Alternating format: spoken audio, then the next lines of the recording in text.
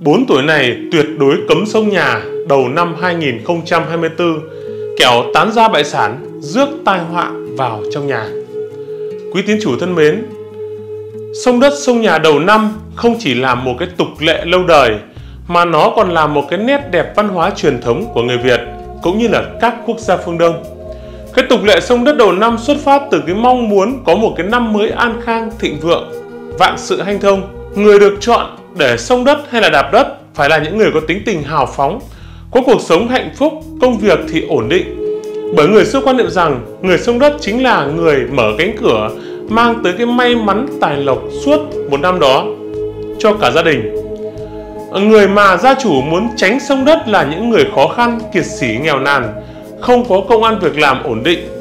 Vì đầu năm mới mà những người như thế đến sông nhà thì nói chung ấy là rất là xấu. Vì đầu năm mới mà những người như thế mà đến sông nhà ấy, theo cái phong tục tục quán là mang lại cái điều xui xẻo, xui rủi và cái vận hạn đến cho gia chủ. Thế nên gia chủ rất sợ những tuổi này đến sông nhà vào đầu năm 2024. À, thưa quý vị, vào cái năm mới thì dựa vào cái quy luật tương sinh tương khắc của âm dương ngũ hành thì quý tín chủ có thể lựa chọn cho mình những cái tuổi sông nhà, sông đất để trong năm 2024 ấy, được may mắn và hanh thông. À, trong năm 2024 thì thầy phong thủy cũng chỉ rõ những con giáp sau đây sẽ khiến cho gia chủ sợ tím tái mặt mày khi mà không may bốn tuổi này đến sông nhà mình. À, gia chủ muốn tránh thật xa vì cái độ xui xẻo của họ.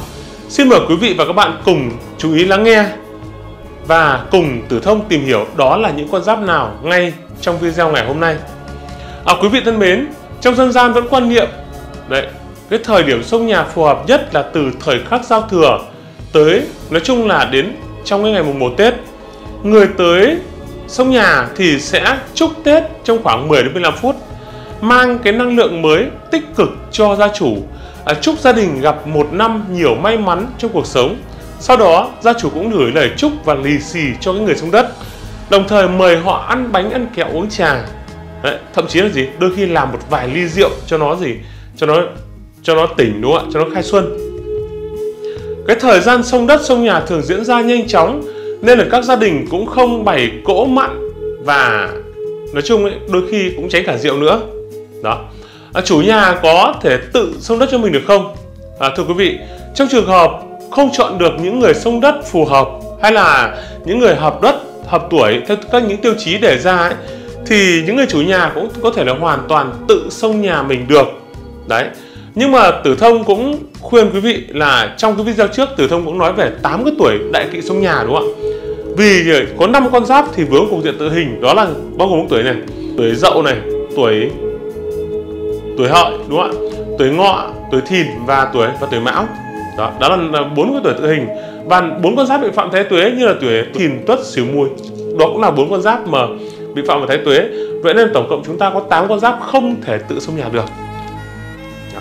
Vì vậy mà quý vị muốn tự sông nhà thì quý vị chỉ có thể là những cái tuổi sau đây thì có thể tự sông này.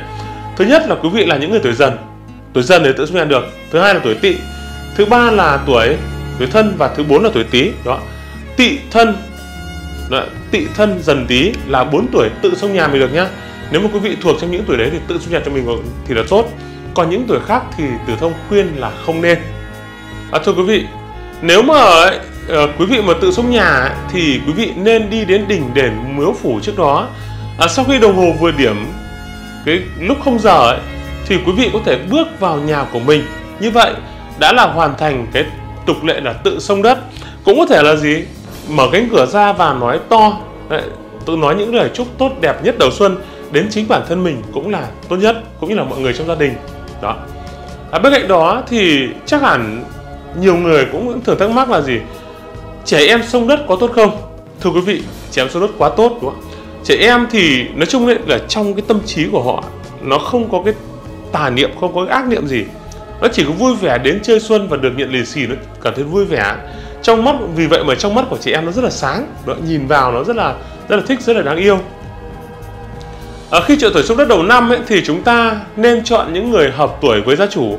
Vì vậy bất kể là trẻ em hay là người lớn thì miễn rằng họ là những người mà hợp tuổi với gia chủ thì đều có thể xông sông nhà được.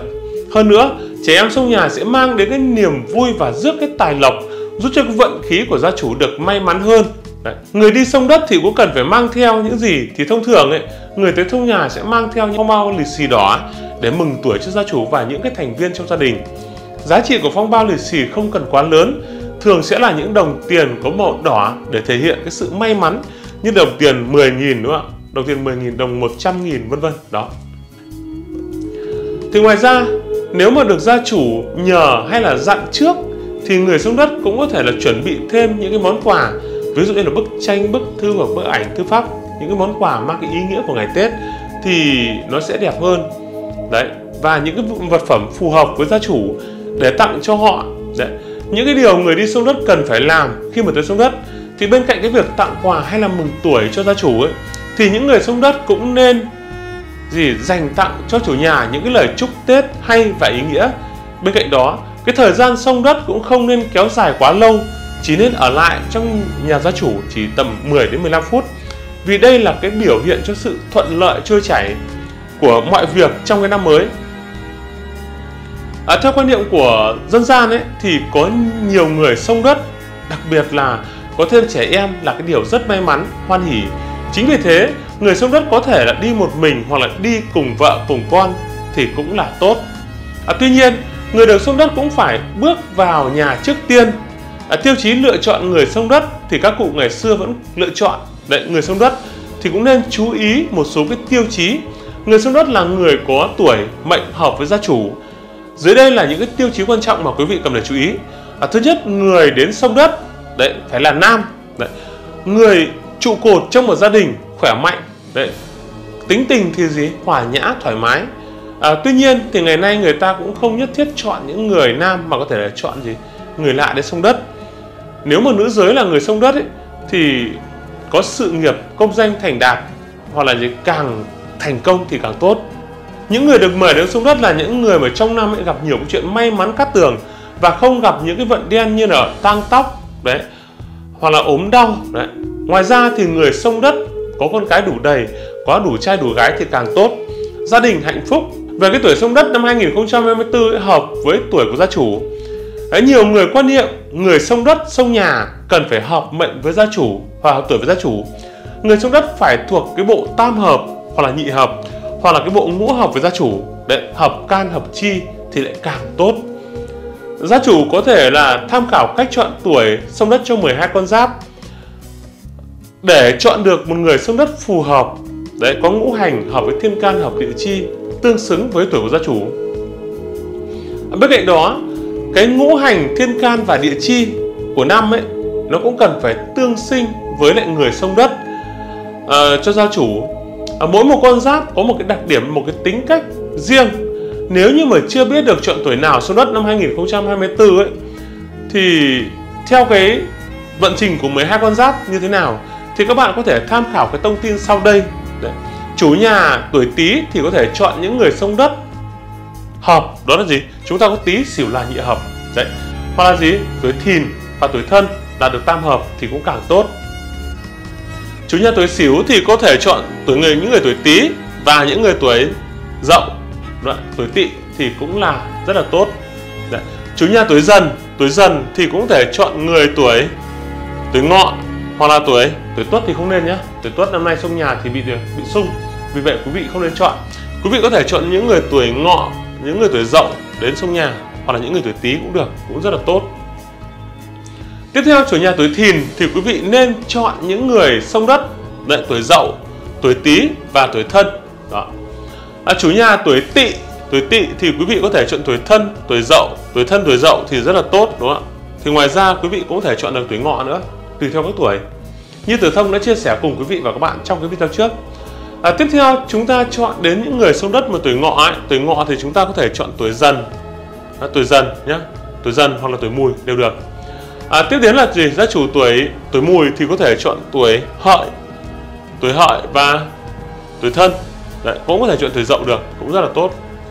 Và tiếp đến là gia chủ tuổi thân ấy thì chọn tuổi gì? Tuổi thí và tuổi tỵ. À, tiếp theo những người tuổi dậu những người tuổi dậu thì sẽ chọn người tuổi à, những người tuổi tỵ những người tuổi thân và những người tuổi mùi. Nói chung là những người tuổi dậu chọn là khá nhiều đúng không ạ? Như là chọn tuổi tỵ này tuổi ngọ này tuổi thân này và tuổi tuổi tý. Nhưng mà tốt nhất là chọn tuổi gì? Dậu thì được chọn tuổi tuổi tỵ thì là tốt nhất à, tiếp theo gia chủ tuổi tuất thì có thể chọn tuổi tuổi dần và tuổi ngọ ở trong nhà hoặc là gì? Chọn những người tuổi mão. Nhưng năm nay người tuổi mão bị gì? Bị lục hại thái tuế nên là chúng ta cũng không nên chọn. À, tiếp đến là chủ nhà tuổi hợi. Tuổi hợi thì sẽ chọn người sông đất. Tuổi gì? Hợi dần là dị hợp chọn người tuổi dần. À, chọn người tuổi tuổi mùi để được gì? Cát lợi và may mắn. À, bên cạnh đó cũng tùy theo cái độ tuổi mà chúng ta cũng có thể lựa chọn những cái tuổi khác nữa ví dụ như những người tuổi hợi đúng không ạ? Chúng ta có đinh hợi đinh kỷ lê lộc tỵ ngọ thì quý vị cũng có thể chọn được những người tuổi ngọ. Nó hoặc bính đinh chưa quý vị quý vị có thể chọn những người tuổi dậu nữa. Đấy, cũng rất là tốt. Ví dụ như là quý hợi quý là lộc tại tý thì quý vị có thể chọn những người tuổi tý. Hoặc là nhâm quý xà thố tàng thì quý vị có thể chọn thêm những người tuổi mão. Nhưng mà tuổi mão bị phạm, chúng ta không chọn nhé. Thì đây là những cái con giáp may mắn, tốt lành và được cho là sông đất hợp với tuổi năm 2024 là giáp thìn những con giáp này là những con giáp mà để chọn tuổi sông nhà. Và sau đây Tử Thông sẽ chia sẻ cùng quý vị và các bạn về những cái tuổi sông nhà tốt nhất trong năm 2024 à, Quý vị ờ, cần chú ý kỹ nhé à, Thưa quý vị, trong năm 2024 thì có 5 con giáp bị phạm thái tuế đúng không ạ? Đó là tuổi thìn, tuất, sửu, mùi và tuổi mão. Đó. Trong đó tuổi thìn là trực thái tuế, tuổi mùi là hình thái tuế tuổi tuất là à, uh, xung thái tuế và tuổi sửu là phá thái tuế. Tuổi mão là là lục hại thái tuế. Vì vậy trong năm 2024 thì để được may mắn bình an thì quý vị nên mang theo bên mình một cái kim bài thái tuế để nghênh đón thái tuế nghênh đón cái vị thần sát lớn nhất trong năm. À, giúp cho quý vị có một năm bình yên may mắn tài lộc dồi dào. Bên cạnh đó ở trong 12 con giáp thì quý vị cũng hãy luôn nhớ mang theo bên mình một cái vòng tam hợp quý nhân. Đấy, vòng tam hợp quý nhân tùy theo tuổi của mình. À, những người tuổi thân tý thìn thì sẽ sử dụng cái vòng tam hợp thân tý thìn những người tuổi dần ngọ tuất thì sẽ sử dụng cái vòng tam hợp quý nhân là dần ngọ tuất. Những người tuổi tỵ tuổi dậu và tuổi sửu thì sẽ sử dụng cái vòng tam hợp quý nhân là tỵ dậu sửu còn những người tuổi hợi tuổi mão tuổi mùi thì sẽ sử dụng cái vòng tam hợp quý nhân là hợi mão mùi. Khi mang theo vòng tam hợp quý nhân bên mình thì sẽ được quý nhân tương trợ giúp đỡ giúp cho công việc nó được hanh thông thuận lợi tiền bạc tài lộc nó cũng sẽ ùn ùn kéo đến. À, quý vị liên hệ trực tiếp với số điện thoại 0989 34 9019 để thỉnh cái vòng tam hợp quý nhân mang lại may mắn tài lộc trọn đời cho mình. À, vòng đã được các thầy khai quang chỉ chú và xem ngày sử dụng theo tuổi của gia chủ. Vậy nên quý vị hoàn toàn yên tâm khi sử dụng nhé. À, thưa quý vị, tiếp theo chương trình thì Tử Thông sẽ chia sẻ cùng quý vị và các bạn về những con giáp may mắn nhất sông nhà trong năm 2024 à, giúp gia chủ được lộc trời cho giàu sang phú quý. Thì đầu tiên chúng ta xét chúng ta biết là trong năm 2024 có ba con giáp sông nhà rất là tốt đúng không ạ? Những người tuổi thân thì được gì tam hợp thái tuế, tuổi dậu thì được lực lục hợp thái tuế, và tuổi tý thì được gì cũng được tam hợp với thái tuế. Đó. Và những tuổi tốt nhất sông nhà trong năm 2024 bao gồm tuổi sau. Đấy, một là tuổi thân, hai tuổi dậu và ba là tuổi tý. Thì ngoài ra có những người tuổi hợi cũng sông nhà được, đúng không? tuổi hợi, tuổi dần, tuổi tỵ và tuổi ngọ. Thì đây là những con giáp cũng sông nhà được, nhưng mà tùy theo các tuổi mà chúng ta nên chọn ra xem là tuổi nào tốt nhất sông nhà trong năm. Và sau đây là danh sách những con giáp sông nhà tốt nhất trong năm 2024 Đó, năm giáp thìn. Tuổi đầu tiên là tuổi kỷ dậu. Tuổi kỷ dậu sinh năm 1969 Đó. Và tuổi nhâm tý 1972 Canh tý 1960 Kỷ hợi 1959 à, Mậu thân 1968 Canh thân 1980 Tân dậu 1981 Đấy, kỷ tỵ 1989 à, Đinh hợi 1947 và Bính Thân 1956 đó. Các tuổi được đánh giá là tốt, được coi là phù hợp, mang lại cái may mắn hanh thông khi mà sông đất sông nhà trong năm 2024 à, năm Giáp Thìn. Thì ngoài ra một số tuổi được sông nhà cũng được gọi là khá tốt. Mặc dù không được đến cái điểm tuyệt đối nhưng mà cái mức độ may mắn của những người tuổi này thì nói chung ấy sông đất cũng là khá là hanh thông thuận lợi. À, thưa quý vị, à, sau đây là những con giáp không nên sông đất sông nhà trong cái năm 2024 thì để lựa chọn ra tuổi sông đất sông nhà thì chúng ta sẽ lựa chọn theo cái khẩu quyết đúng không ạ? Chi hợp tuyến niên can hợp mệnh, tài quan ấn phúc nhập nội đường, thiên tăng tuyến nguyệt nhân tăng thọ xuân mãn cản khôn phúc mãn môn. Đó. Vậy nên đây đầu tiên tiêu chí đầu tiên chúng ta chọn là gì? Chi hợp tuyến niên can hợp mệnh. Vậy nên là những người bị xung với thái tuế là chúng ta không chọn. Thái tuế năm 2024 2024 là năm Giáp Thìn. Giáp Thìn đúng không ạ? Giáp Thìn. Giáp Thìn. Đó. Thì trong cái năm Giáp Thìn chúng ta có 5 con giáp bị xung thế tuế, bị phạm thế tuế. Tuổi Tuất là bị xung này. Đúng không? Tuổi xíu là bị phá này. À, tuổi Mão là bị hại này. Tuổi Thìn là trực này. Đó, và tuổi Mùi là hình. Đó. Đó là năm con giáp bị xung thế tuế thì tất cả những người tuổi Thìn, Tuất, Sửu, Mùi và tuổi Mão thì không nên xông nhà trong năm 2024 cho bất kỳ ai. Đó. Bất kể là họ là ai thì quý vị cũng tốt nhất là không nên xông nhà để tránh phạm phải những cái họa. Các tuổi này được đánh giá là xấu, được cho là không phù hợp và có thể mang lại những cái xui xẻo khi mở sông đất trong năm 2024 ở năm Giáp Thìn.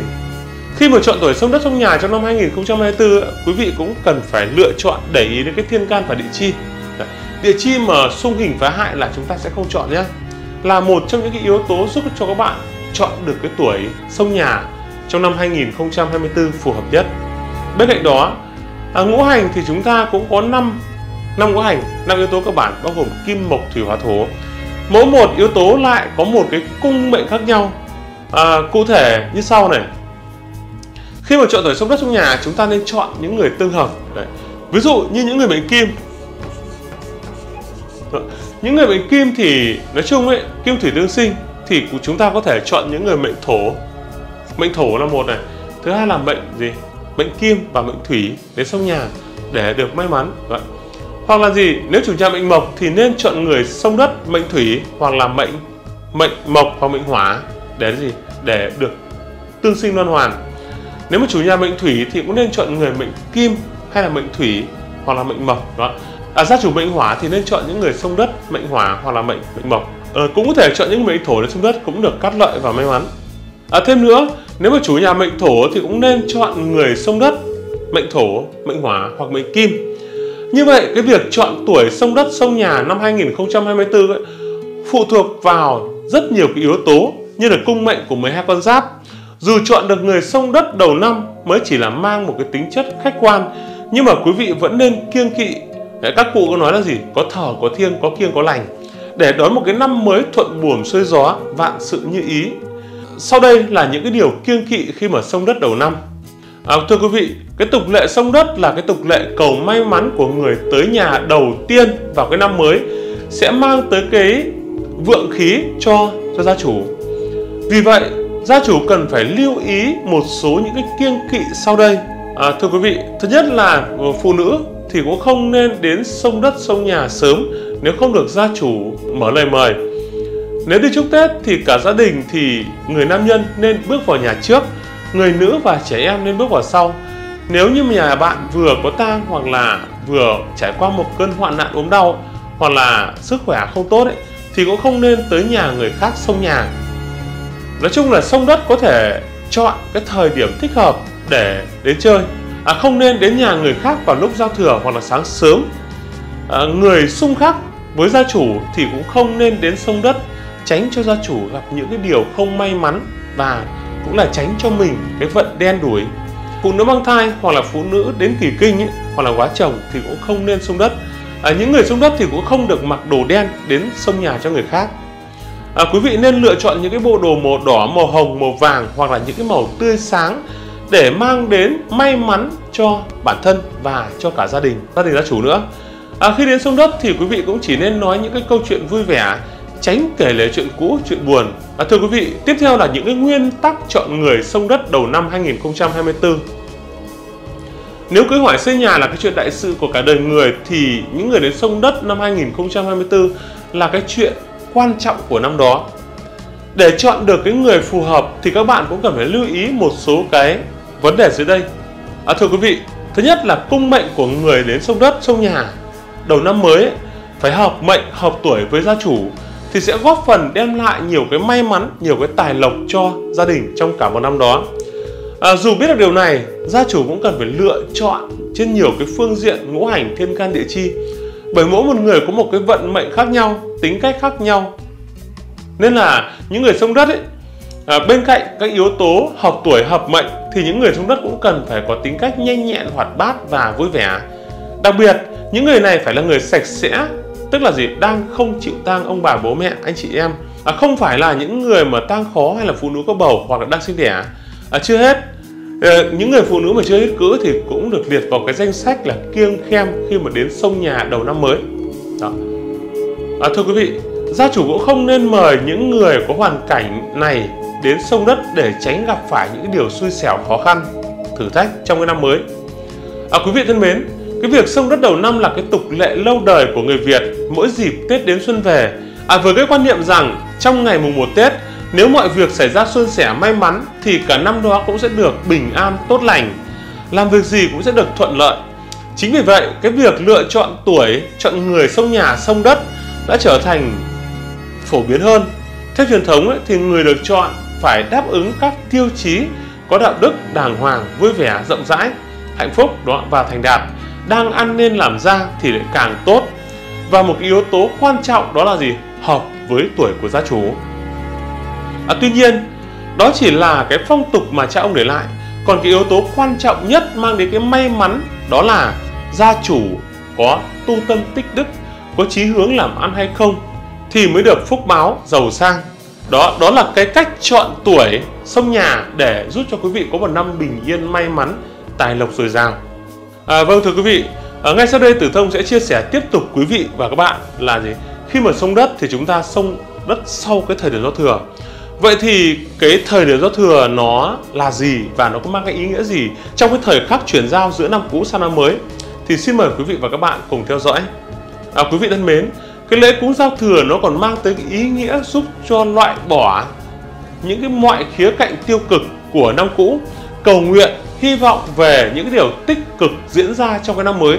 À, không chỉ vậy, cái lễ cúng giao thừa cũng có mục đích là mời gọi ông bà tổ tiên về thăm, tạo ra cái không khí vui tươi và hạnh phúc cho gia đình. Đây là cái thời điểm mà con cháu có cơ hội sum họp, tận hưởng những khoảnh khắc hạnh phúc bên nhau. Bên cái mâm cỗ cúng giao thừa, bên cái mâm cỗ ở ngoài sân để cúng thái tuế ở ngoài trời được tổ chức với cái mục đích là để tiễn các vị thần và mời các ngài quan hành khiển mới ờ, những người mà đảm đương cái trách nhiệm bảo vệ cái cộng đồng và quản lý hạ giới trong cái năm vừa qua. Đồng thời chào đón cái vị thần mới à, danh sách lễ phẩm trên cái bàn cúng giao thừa thì mang tính chất linh động biến đổi tùy theo vào cái tình hình kinh tế và đặc đặc sản của của vùng miền. À, tuy nhiên vẫn cần những cái sản phẩm không thể thiếu như là chầu cau hoa quả chén nước chén rượu. Ở bên cạnh đó cũng có mâm ngũ quả để cúng giao thừa ngoài trời hoặc là trong nhà. À, đặc trưng với cái lễ chay và cái lễ mặn bao gồm có mâm ngũ quả biểu tượng cho cái ngũ phúc phúc lộc thọ khang ninh đó bánh trưng gà trống à, có những nơi còn sử dụng thủ lợn hoa tươi trầu cao, nước rượu một đĩa gạo một đĩa muối 5 ngọn nến, nén hương và ba hoặc là năm nén quần áo, mũ và quần áo mũ nón để cúng thần linh. À, mông có cúng giao thừa trong nhà thì thường là một cái nghi lễ tôn vinh tổ tiên và cái lễ cúng thổ công đấy người đã chấn giữ hạ giới trong gia đình mình trong suốt một năm vừa qua. Cái bàn cúng giao thừa trong nhà thì cũng giống với cái lễ cúng ở ngoài trời. Khác biệt duy nhất là cái việc vì không sử dụng quần áo và cái mũ nón thần linh. Mâm cúng mặn với những cái món sau đây, như là bánh trưng giò chả, xôi, kèm theo nhiều cái loại là xôi gà, xôi thịt hoặc là rượu trắng. Mâm cúng ngọt thì bao gồm những cái đồ như là gì? Bánh kẹo, mứt tết, hoa, đèn, nén hương, bông, đấy. Ờ, cúng giao thừa ở miền bắc thì cái mâm cúng giao thừa nói chung là ở miền bắc khác với miền nam nó thường được xây dựng đầy đủ những cái món ăn truyền thống sắp xếp theo cái hình đều đặn bao gồm 4 bát 4 đĩa vân vân. Ở trong những trường trường hợp cỗ lớn hoặc là gia đình thịnh vượng ấy thì con số này có thể là nâng lên thành 6 bát 8 bát 10 bát thậm chí là gì? Một vài mâm đó. Đặc điểm của mâm cúng giao thừa thường gồm những cái món như là gì? À, móng giò hầm với măng này bóng này đúng không ạ? Hoặc là gì? À, bắt mọc bắt miến đấy. Hoặc là gì? Cái giò lụa đĩa nem đĩa giò bò giò xào nem trộn cũng như là giò chả nem thính. Mâm cúng giao thừa ở miền Trung và miền Nam thì nó cũng có khác biệt một chút so với miền Bắc. Nó sẽ xuất hiện có bánh trưng cả bánh tét gạo nếp đấy. Cái sự đa dạng và phong phú hơn cái trong cái mâm cỗ cúng. Bên cạnh đó cái bàn cúng giao thừa còn đa dạng với nhiều cái món như là gì? À, dưa giò lụa thịt đông vậy có thể là gì? À, gà thịt gà à, rau răm à, đĩa chả à, đĩa thịt heo dưa đúng không ạ? Hoặc bát măng khô ninh bát biến đấy. À, thậm chí là có thêm đĩa cá chiên đấy vân vân đó. À, một vài cái gia đình thuộc các tỉnh miền Trung ấy, thì người dân còn ưa chuộng nhiều cái món đặc sản như là gì? Cuốn diếp như là ờ, gỏi lá sen hoặc là gỏi bao tử hoặc là bánh răng đấy, bánh bánh răng bừa hoặc là gì? Xà lách gân bò chả tôm vân vân. Tất cả tạo nên một cái bàn lễ cúng giao thừa độc đáo phong phú và đa dạng làm nổi bật cái không khí của cái tích cổ truyền của dân tộc Việt Nam. À, thưa quý vị cái mông cúng giao thừa ở miền Nam ấy thì cũng có khác bởi cái tính chất khí hậu nắng nóng. À, những cái đồ cúng giao thừa không chỉ được lựa chọn kỹ lưỡng.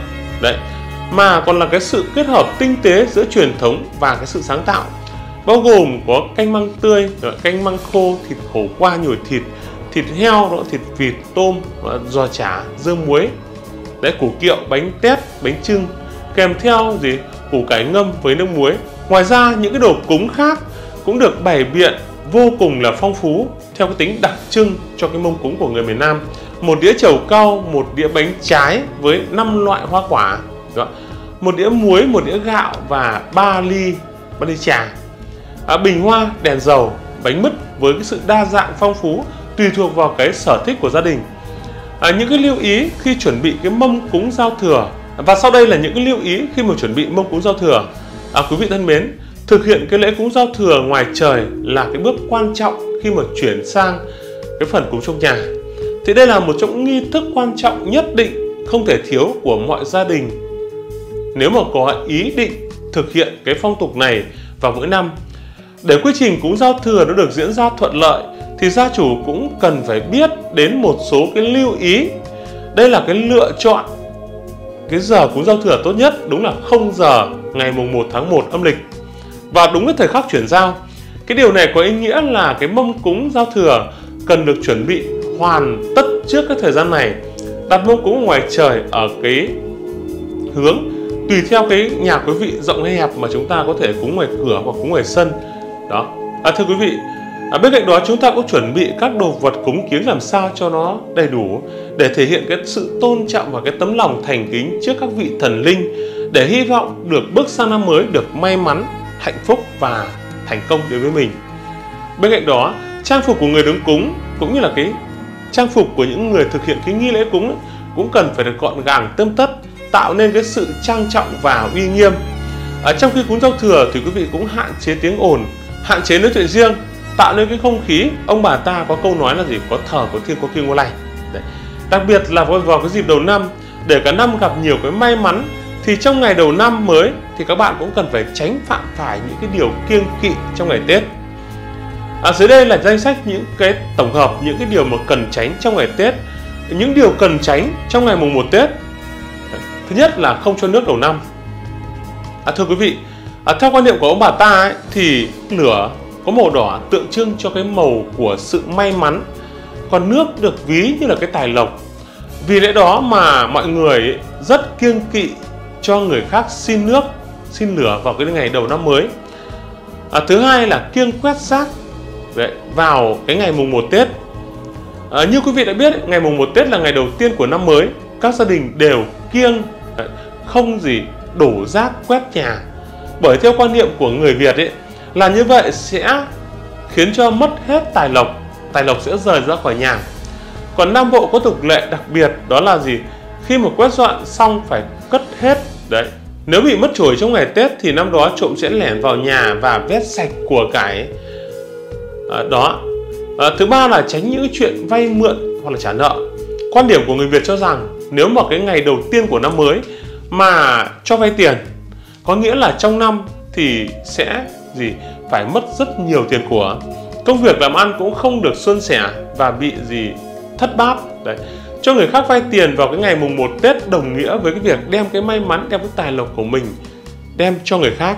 À, thứ tư là không làm rơi vỡ đồ vật vào ngày mùng 1 Tết. À, quý vị thân mến, ngày mùng 1 Tết mà rơi bể đồ vật được xem là một trong những cái điều mà không nên làm. Đó. Mà mọi người cũng cần phải tránh.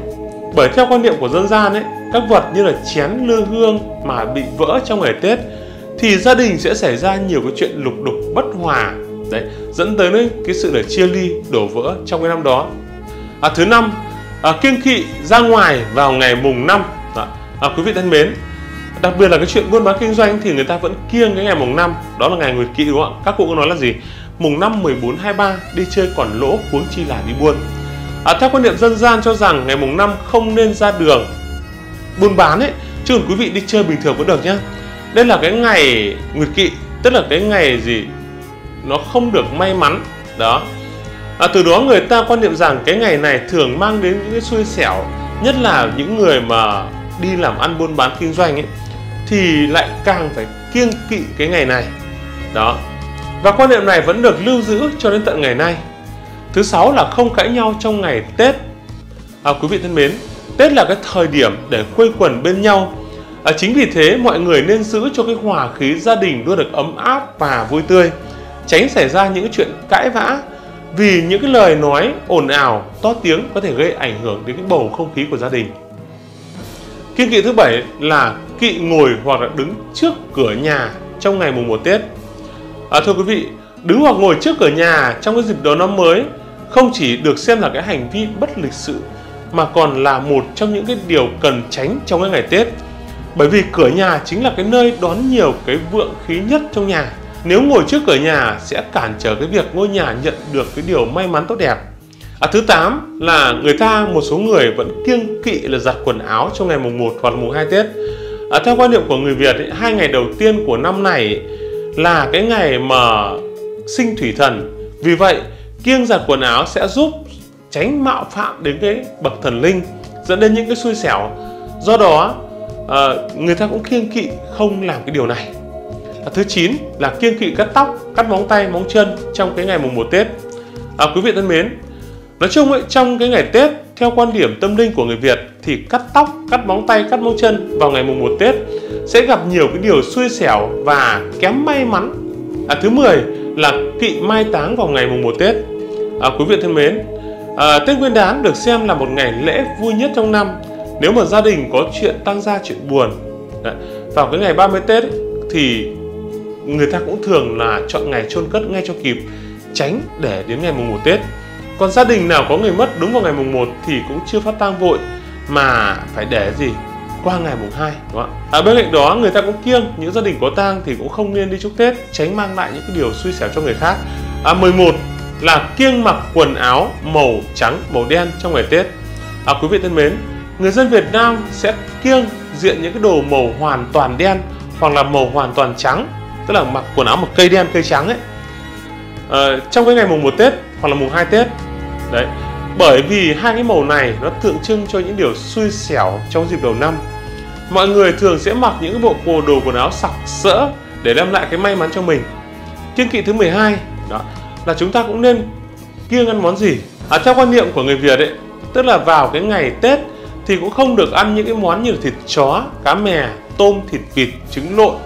Vì ông bà ta có quan niệm rằng nếu mà những ngày đầu năm mới mà ăn những cái món này sẽ mang lại nhiều cái điều xui xẻo và không may mắn nên là gì?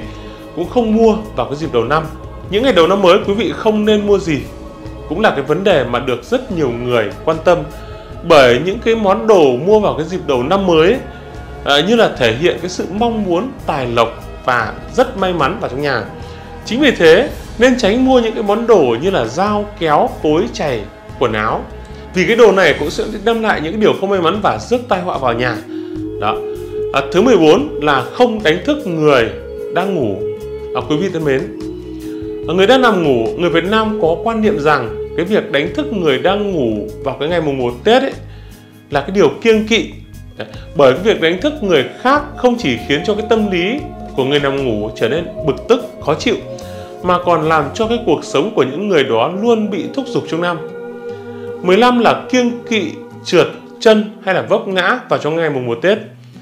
À, quý vị thân mến, ngày mùng 1 Tết thì chúng ta cũng được dặn dò đầu năm là đi đứng phải cẩn thận, không được trượt chân hay là vấp ngã. Nếu những ngày đầu năm mà bị vấp ngã thì báo hiệu năm đó sẽ gặp nhiều cái chuyện không may. Mọi điều thì cũng sẽ không được thuận lợi và sẽ xảy ra nhiều cái chuyện trục trặc, nó cản trở. Đó đó là những cái điều kiêng kỵ cần quý vị cần phải làm trong ngày Tết. À, quý vị thân mến, cái việc sông nhà sông đất thì là một cái phong tục tập quán lâu đời. Đó. là một cái tục tập lâu đời của người Việt. Cái vị khách đến nhà đầu tiên chúc Tết thì gia đình sẽ gì? Nói chung ấy là sẽ có nhiều cái niềm vui. Và đó chính là gì? Những người xông nhà đầu năm. Nếu người đó được chọn hợp tuổi hợp mệnh và là người luôn gặp may mắn ấy, thì cuộc sống của gia đình bạn cũng sẽ gặp nhiều may mắn trong cái năm mới vì vậy những người không hợp vía không hợp tuổi thì cũng đừng nên đến sông nhà vào trong cái ngày đầu năm mới à, thưa quý vị như vậy là Tử Thông đã vừa chia sẻ cùng quý vị và các bạn về những tuổi cấm sông nhà trong năm 2024 năm Giáp Thìn cũng như là những điều cần lưu ý, những điều cần kiêng kỵ trong năm mới. À, rất cảm ơn quý vị và các bạn đã quan tâm theo dõi. À, quý vị đừng quên đăng ký kênh và nhấn vào chuông thông báo để ủng hộ cho chương trình. Còn bây giờ xin chào và hẹn gặp lại quý vị trong những video tiếp theo. À, xin cảm ơn.